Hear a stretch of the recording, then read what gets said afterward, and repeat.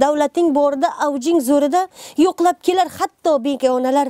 Davlating yo'g'ida baxting sho'rida saloming olmaydi devonalar ham deydi. 47 yashar durdona naimova navoiy shahridan. U mehnat muhojiri emas. U davolanish uchun rossiyaga shu yil boshida kelgan. Ammo karantin cheklovlari tufayli mablag'siz qolgan va natijada o'zbekistonga qayta olmayapti. Ozodlik radiosi durdona naimovani peterburgdan 120 kilometr narida ladaga ko'li bo'yidagi dala hovlilaridan birida og'ir ahvolda topdi. Navoiylik bu ayolning ozodlikka aytishicha pandemiya tufayli chegaralar yopilgani uchun o'zbekistonga qaytib keta olmagan. Biza keligi xudoni ishi bilan koronavirusi boshlandi. Mani hech kim qabul qilmadi. Kasal bo'lib qolganman ostanovkaga og'zimdan ko'pik ketdi yiqilib qolganman. Yelkamdagi sumkani olib ketganlar o'g'rilar. Keyin igor bilan xotini ko'rib nima bo'ldi deganman aytdim yiqildim deganman sumkamni qidirganman sumkam yo'q. Keyin ular uyga olib borgan. Durdonani peterburg ko'chalaridan birida og'ir ahvolda topib unga boshpana bergan rus oilasi o'zbek jamoatchiligiga video murojaat qilib yordam so'ragani to'g'risida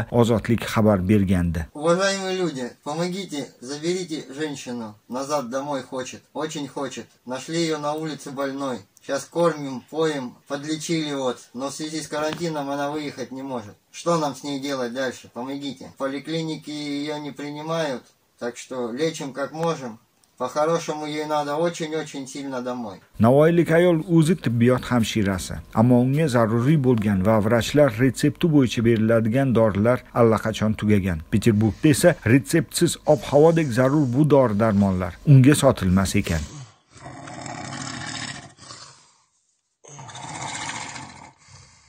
Pristupdan keyin turaman turgandan keyin boshimni pastga qaray olmayman ana shunday faqat timtik turishim kerak faqat boshimga bir kishi bir nima bilan urganday bo'ladi zarba kuchli bo'lgandan shu og'zimdan 2 kun 3 kun qora suv kelaveradi bir nima yeyolmayman yesam ham shuni qaytarib tashlash tashlayman dardimni she'r bilan yengishga harakat qilaman g'am ketgan g'am yutgan odam hech qachon yaxshilikni ko'rsa ham yuragi siqilolmasa kerak mana jurnalist ekansiz. Shu uchun aytadiki suluv sochlaring bo'ynimga dormi deb.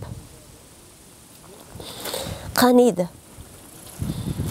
kim o'g'ri dedi? Kim jalab dedi deb shuni aytadilarda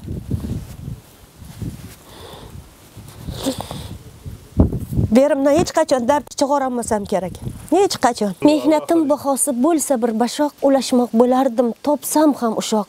Mayli bo'lay do'stim yo'lida qashshoq kuylarman bo'lsam ham devona mashoq ozodlikka ulangan durdonaning yagona o'g'li farruh onasi 1994 yildan beri epilepsiyaning og'ir formasi bilan kasal ekanini aytdi. Pandemiya paytida mutlaqo mablag'siz qolgan yolg'iz o'g'il ham o'zbekistonda ekani va onasiga hech qanaqasiga yordam yetkaza olmayotganidan azoblanayotganini aytadi. Ozodlikka gapirgan durdona oldinroq peterburgdagi o'zbekiston konsulligiga murojaat qilib ko'rgani. Ammo u yerda qaytishga chipta unga sotilishi mumkinligi to'g'risida javob olganini bildirdi. Elchixonaga chaqirdim ravshan degan bachagini aytdi. Agar 10 minglab bo'lsa dedi u yoq bu yoq qilib dedi orasiga qo'shib dedi sizni jo'nataydik dedi. O'zbekistonlik ayol uni ketishga ko'mak berishni so'rab o'zbekiston hukumatiga murojaat qildi bitta istagim shu o'zbekistonga qaytib borish. Menga shu yordam qilsangizlar bo'ldi. Qolib ketmay shu boshiga tushgan qiyinchiliklarga qaramasdan durdona odamlar mehr muruvvatiga ishonchini yo'qotmagan. U o'z orzu istaklari bilan ham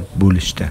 Orzularim bitta farruxjon mana 25 ga kirdi. Shuni to'ylarini ko'rib bolamni ikkitagina farzandini ko'rib bijon deganini eshitsam Allohdan shundan boshqa orzuyim yo'q. Hech kim qiynalmasligini xudodan so'rayman. Hech kim dard ko'rmasin.